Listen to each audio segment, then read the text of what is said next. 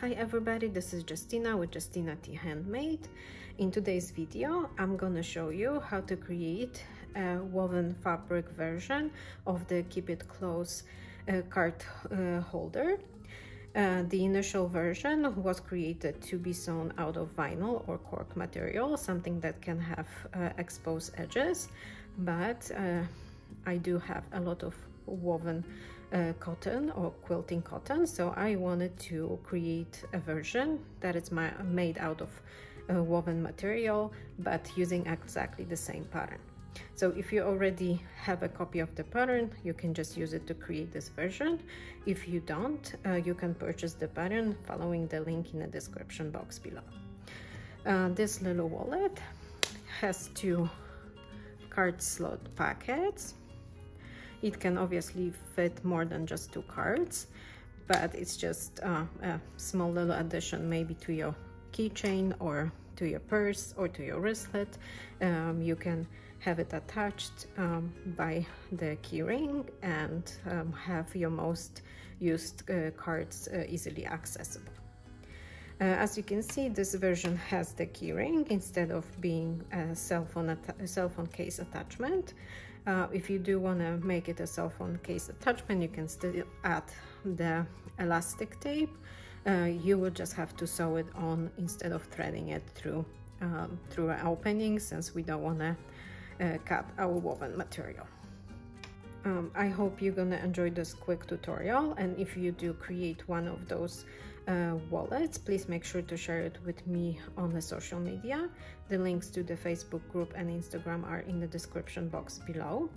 Uh, the full supply list for this version will be also included in the description as it differs uh, from the original pattern.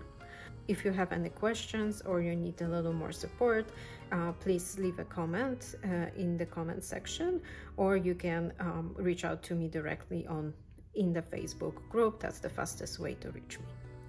And now, if you want to see how this little project comes together, please keep watching. To start our project, we're gonna prep our pattern piece. Uh, this pattern piece is uh, from the original uh, Keep It Close card holder uh, that it's meant to be sewn from uh, vinyl or cork material. Uh, but uh, to adapt this to our woven uh, fabric version, all you need to do, you just have to fold those little flaps of the card slot pockets straight from those little corners and this is um, the template you're gonna use to cut your interfacing. So here's my interfacing cut using this template, as you can see. Uh, I'm using Pellon 809. Uh, you can use anything um, you like. It depends how stiff you want the project to be, but you also have to keep in mind that you will have to turn the project uh, right side out. So uh, make it as stiff as you like, but also make sure you're gonna be able to uh, turn it over by a birding hole. All right, so now that we have our interfacing cut, uh, we're gonna take our fabric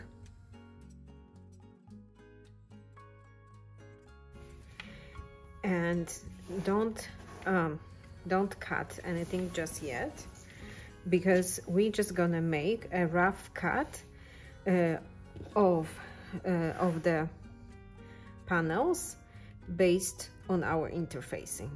Uh, first of all, you wanna uh, fuse your interfacing to your to the wrong side of your fabric, making sure you have about half an inch extra fabric all around your interfacing so um, just uh, fuse the interfacing to your uh, to your fabric. Make sure you are fusing the interfacing to the wrong side and the glue side of your interfacing is facing the wrong side of your fabric.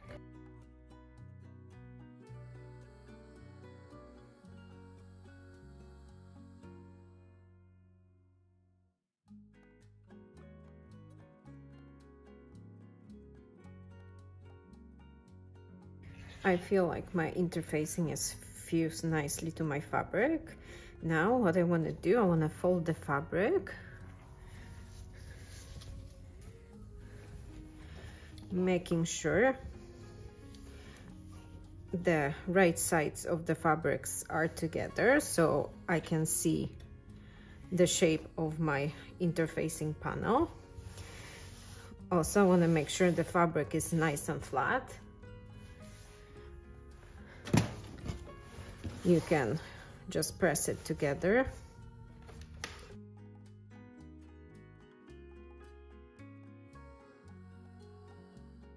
And now we're gonna cut our fabric.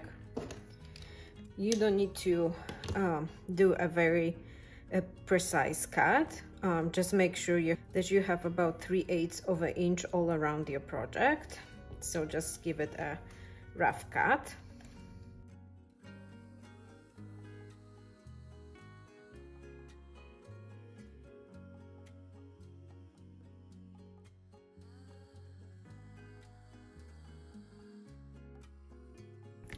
Now that you have your fabric cut, you can clip uh, those two panels together all around.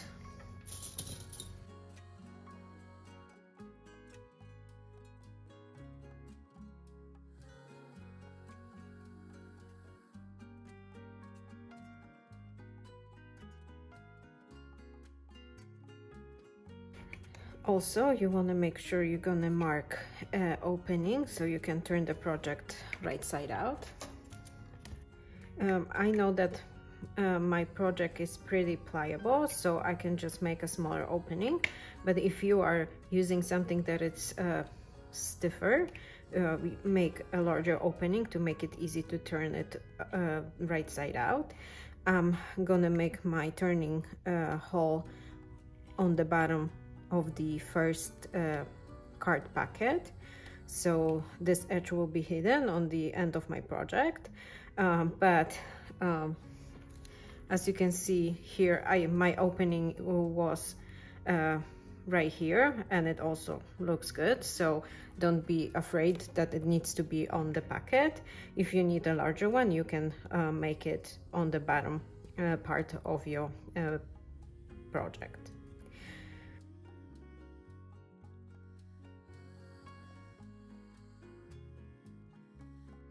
So now that I have uh, my project prep like this, I'm gonna take it to the machine and I'm gonna sew starting from one of the pins marking my opening, um, backstitch on the beginning of your uh, seam and follow the edge of uh, your interfacing.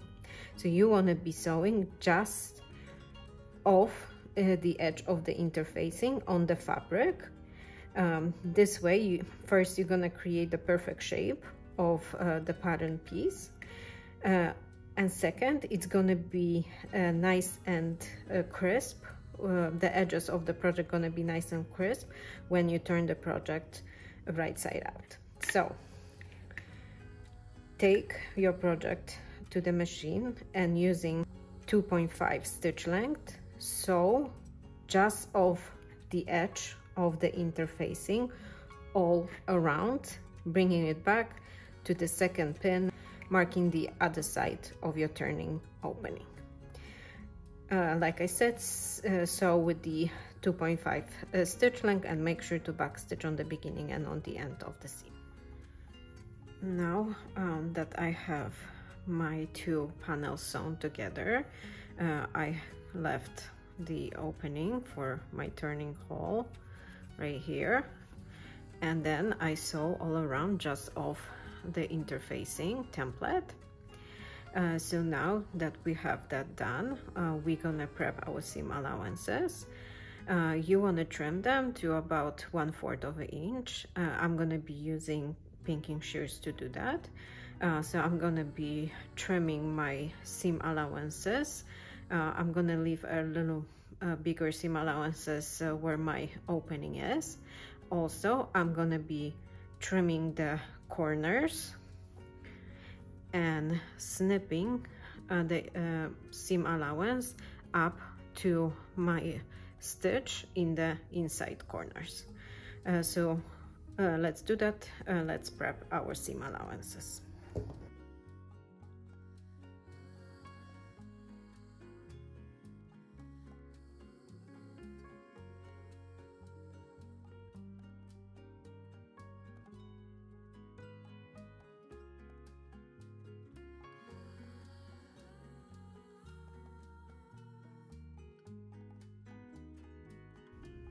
That I have my seam allowances trimmed, I'm gonna turn my project right side out.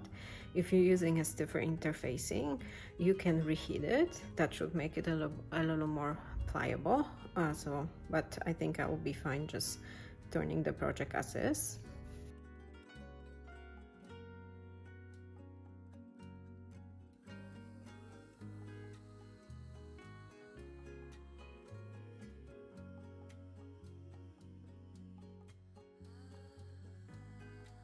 You can use some kind of tool to make sure your corners are nice and sharp. Just make sure you're not gonna uh, poke through the fabric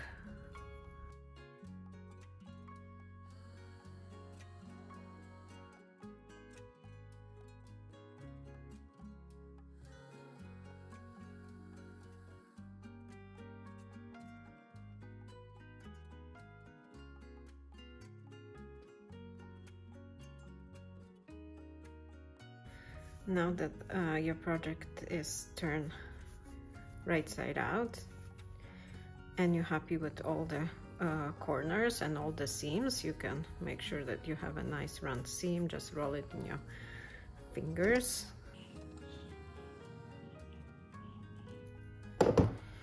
Now we're gonna fold our raw edges inside of the project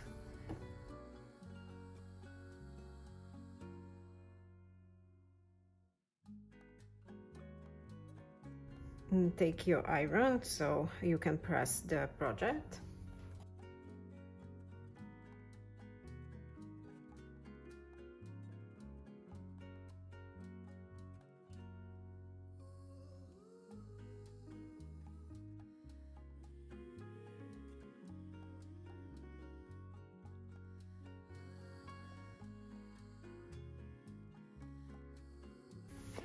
now that you have your project turned right side out and nicely pressed we're gonna uh, top stitch the tops of the card pockets and uh, around our flap. So uh, take the project uh, back to the machine and top stitch along this edge with the 1 8 of an inch seam allowance and 3.5 stitch length. Now that your project is top stitched um, you can now take a look at your project and figure out which side you like better. Uh, it doesn't matter to which side the interfacing is attached to. Uh, I don't find that that matters a lot. So just make sure you are choosing your uh, better looking side and that side should be now facing uh, the table. So I think uh, this side looks nicer. So I'm gonna place um, the nice side down. Now I'm gonna fold my first card pocket. I want to make sure that my side is nice and straight. And now that I have that positioned I'm gonna secure that with clips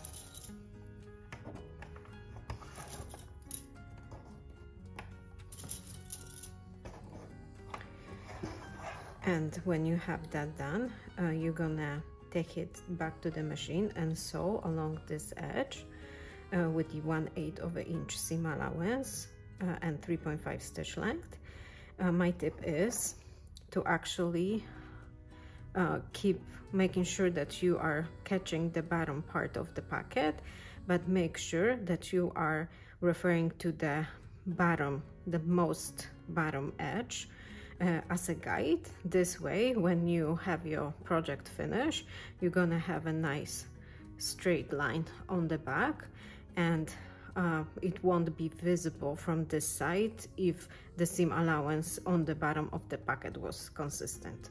uh, so that's my tip so now uh, take it to the machine and sew the bottom of the pocket on with the 1 8 of an inch seam allowance and 3.5 stitch now that our first pocket is sewn in you're gonna fold the other side of your project making sure you have nice straight line and those two edges are aligning.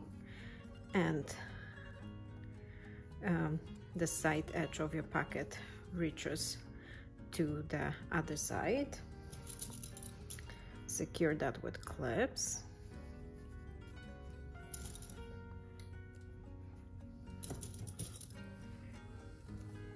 when you have your project prep like this you're gonna take it back to the machine and you're gonna top stitch along the side the bottom and back on the other side up to the um, top stitching of the little flap. And you're gonna be sewing with the 1 8 of an inch seam allowance and 3.5 stitch. Now that your second pocket is attached um, your sewing part is actually done. Now we need to attach our closure. To do that um, make sure you put your cards into your card holder. Depending on how many cards you want to carry with you you may want to leave a little room so you can fit more than two cards in your little wallet so now that I have my cards inside and I fold my flap and everything is fitting nicely uh, I'm uh, I'm gonna find the midpoint on my flap making sure uh, that I'm leaving enough space to uh, grab onto my flap to open it. So I have my set of my plastic snaps ready. I'm gonna um, try to fit the cap of the top part of the snap. Uh, I feel like this is a good position. I have about one fourth of an inch uh, overlap on the bottom. So now I'm gonna mark the placement. Just pin on my project. Now I'm gonna make the hole and install my female part of the snap.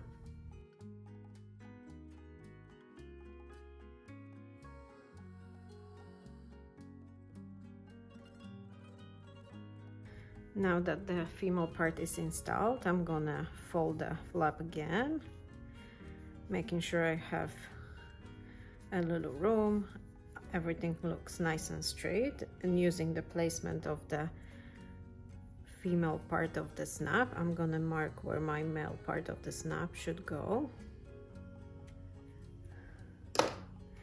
Now I'm gonna remove the cards and making sure I'm just punching a hole only through the first pocket. I'm gonna use the tool to make the hole.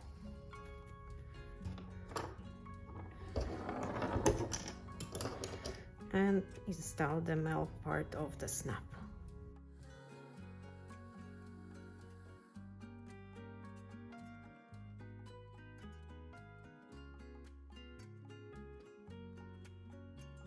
So now my little wallet is completed if you want to add a keyring uh, to the project uh, you can you can add a grommet so then you can thread it onto a, a keychain ring and that's what I'm gonna do so now I have all my supplies for my uh, keyring so I have a set of my grommet. This is one fourth of an inch uh, inside diameter grommet. On, uh, on this card holder, I attach the grommet on the back of the um, project, but I feel it, uh, but I feel it gets in the way of the card. So uh, on this project, I'm gonna attach the grommet on the front of the flap. So if you wanna put the card inside of your back pocket make sure you have it nice and close. And then using a grommet you're just gonna find the best placement. And using the grommet itself you can mark where your hole needs to go. And using a hole punch you can start your hole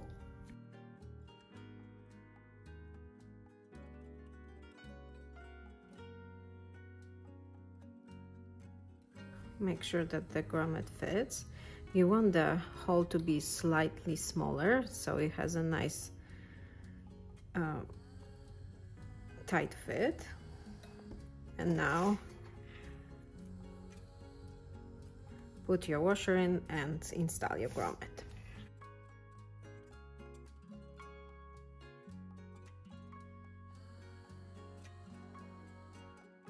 After the grommet is installed we can put our keychain ring uh, through the grommet. As you can see, I embellish it with this little tassel.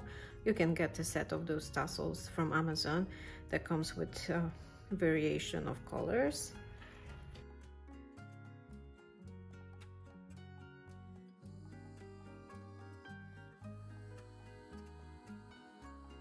And now you can attach your little card holder wallet to your purse or to your keys, um, to your little wristlet, uh, attach it on your purse.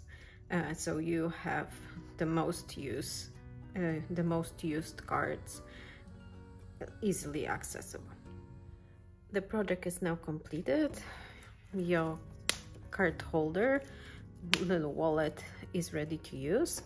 I hope you enjoyed this tutorial and if you did, please make sure to uh, give it a thumbs up. Uh, if you are not yet a subscriber to my channel and you would like to be notified about upcoming uh, videos, please make sure to subscribe and to hit the notification bell. Uh, if you have any suggestions or questions um, or maybe ideas for other tutorials, uh, please leave a comment below. I'm always happy uh, to answer any questions and to uh, help you with any concerns you may have. Till the next time.